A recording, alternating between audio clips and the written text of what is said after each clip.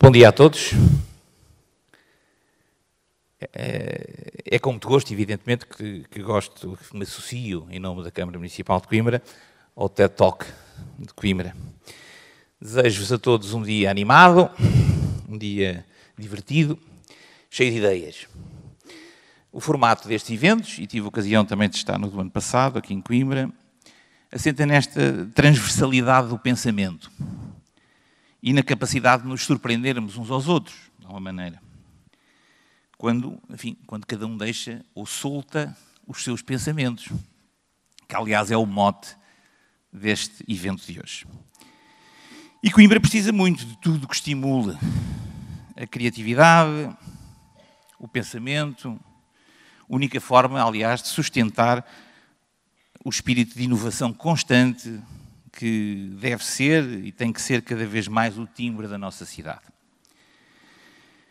Nos simpáticos cinco minutos que a organização me concedeu, eu podia tentar discorrer um pouco mais sobre este tema da cidade criativa e inteligente que temos que construir juntos.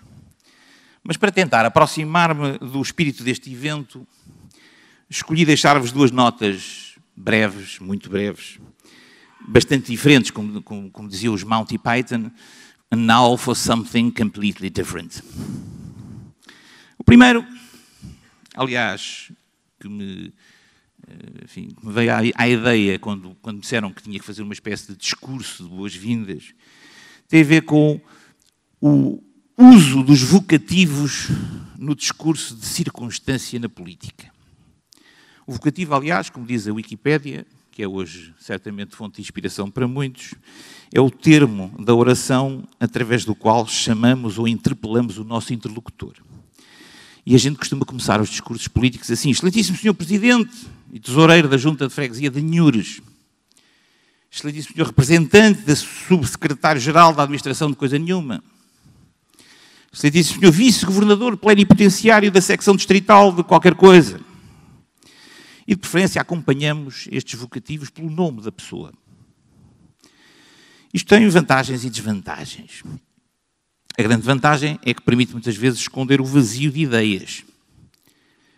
Não sei o que dizer, logo passo metade do tempo a chamar pelo nome dos outros. E tem outra vantagem, é que predispõe favoravelmente aquele que é citado a ouvir-me, já que eu tive a simpatia de chamar pelo nome dele. Evidente que algumas das vantagens também se tornam desvantagens, porque se me predispõe favoravelmente aquele que, me ouve, a que eu citei a ouvir-me, predispõe desfavoravelmente aquele que eu me esqueci de citar a ouvir-me. E, portanto, tem outras desvantagens, alonga as intervenções. Não. Mas é uma prática comum. Eu diria que é um, um dever nacional todos aqueles que de vez em quando têm que falar em público, eh, um serviço que prestam a redução do tempo que todos passamos eh, a usar vocativos. E então, quando há 10 pessoas, há 5 discursos diferentes, e a primeira parte, ou a primeira metade de cada um dos 5 discursos, é para dizer Excelentíssimo Senhor A, Excelentíssimo Senhor B, Excelentíssimo Senhor C, a coisa torna-se mesmo muito chata. A segunda nota Now for something completely different, again. Se repararmos bem no discurso público também de hoje, dos dias de hoje, assassinamos a segunda pessoa do plural. Se os meus filhos forem sair de casa, a maneira mais razoável de lhes perguntar para que sítio é que se dirigem seria perguntar-lhes perguntar onde ides. Torna-se claro que estou a dirigir-me àqueles dois que estão a sair de casa. Mas deixámos de perguntar onde ides. E perguntamos onde vão. Onde vão quem? Os meus filhos ou os outros de quem falamos? E por isso deixámos dizer: se não fosseis estúpidos, pensaríeis mais. Deixámos dizer: serias vós capazes, ou sereis vós capazes de aturar um discurso de circunstância numa TED Talk? Com exceções, evidentemente. Em alguns sítios a norte do país ainda se continua a utilizar a segunda pessoa do plural. Mas isto, enfim, este, este movimento alimentado pela televisão de abolição da segunda pessoa do plural do discurso, enfim, vai tomando conta de nós todos. E até se usam formas engraçadas, ridiculariza-se o tipo que o usa. Eh, não é por acaso que o diácono Remédios ainda é dos poucos que utiliza a segunda pessoa do plural. Ou quem usa a segunda pessoa do plural aparece sempre como falando assim, o tipo de província. E, portanto, com esta amputação da nossa língua, ficámos todos muito mais pobres.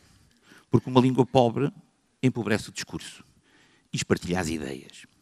E proponho, portanto, para terminar, que daqui saia, ou que daqui pelo menos fiquem os gérmenes que iam de levar a que possamos um dia constituir um movimento nacional da restauração da segunda pessoa do plural. E, evidentemente, me ofereço-me desde já para sócio fundador desse movimento. E a todos os que estáis a pensar se tereis ou não coragem para aturar os tais discursos, como este, ao longo do dia de hoje, desejo que passem, que é o que agora se diz, mas está mal, desejo que passeis um bom dia. Obrigado.